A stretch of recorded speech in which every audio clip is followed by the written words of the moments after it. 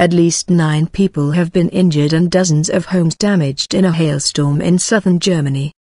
There were reports of hailstones the size of golf balls in the state of Baden-Württemberg.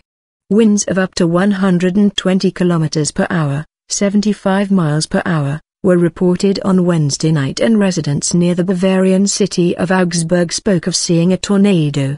Roofs were badly damaged, blocks of flats had to be evacuated and a local school had to be closed on Thursday. Two people were taken to hospital with severe injuries caused by lightning strikes. Seven more were hurt in Bavaria, where several houses in villages near Augsburg were no longer habitable. Authorities appealed for help from construction workers to repair the damage.